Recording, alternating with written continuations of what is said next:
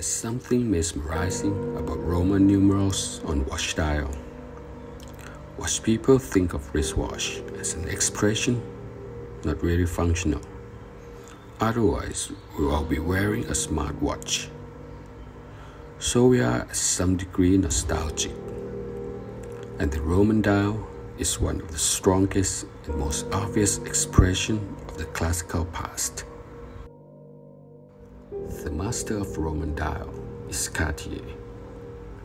My first crush in wristwatch as a grown-up is Cartier Santos 100 series.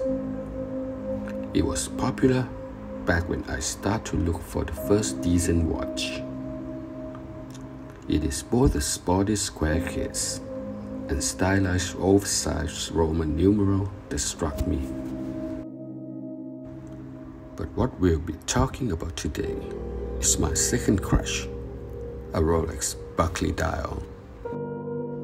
In a way, it is a Rolex response to Cartier.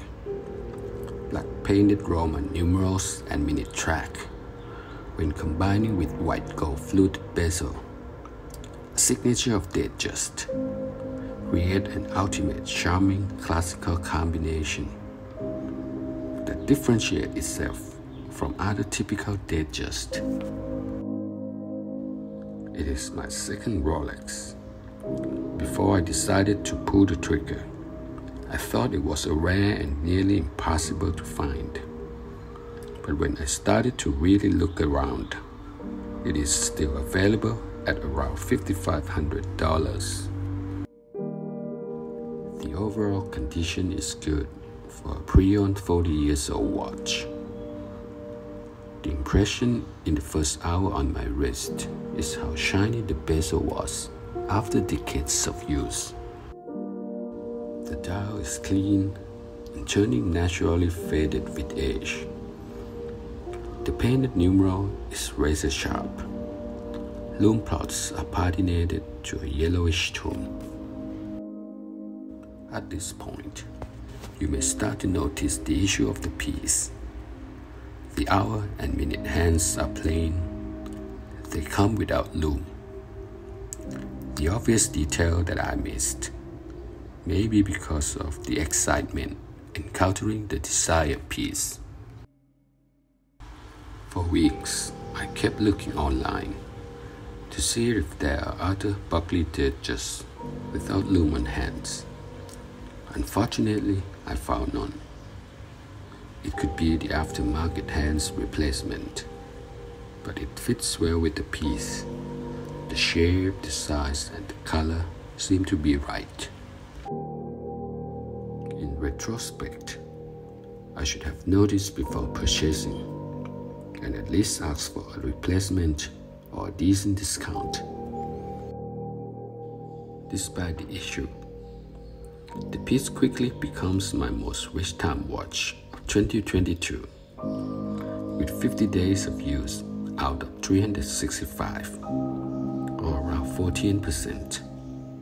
A huge success comparing with last year's winner which is Casio 6900 at 26 days or just 7%. There are two more pieces in my collection that build up my confidence before picking up a Rolex Buckley. It is somewhat like a time to get to know each other, whether my liking was real or not.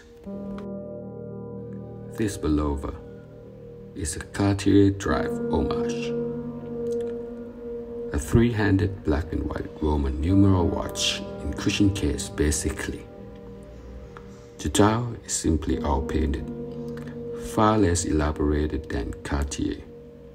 The style is there, even though the craftsmanship may not. What Bulova did well on this piece is the design of the case.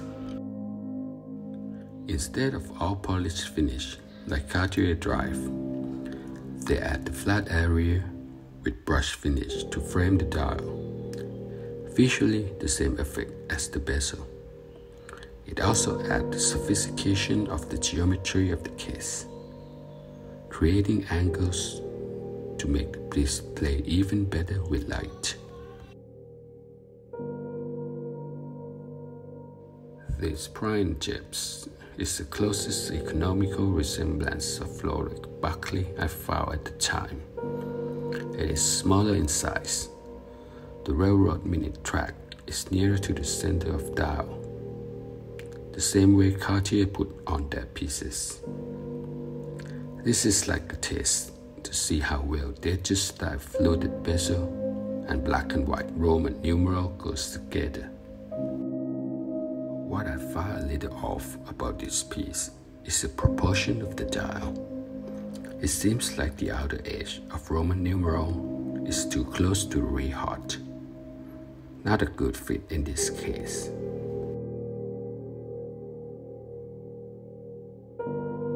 Even though the master of classic Roman dial is Cartier, Rolex also exploit the same consumer preference by having many Roman dials in their lineup. It may look outdated for some, but to me, it is the archetype of a watch. I still wish at the corner of my mind that the set of hands on my Rolex Buckley is original. I heard from John Buckley himself in the video that there are a wide variety of hands that doesn't seem original, but they actually are, like silver hands on black and white dial. Hopefully, there are black hands without lume in the list too. Let me know if you have come across a Buckley dial with black hands without lume.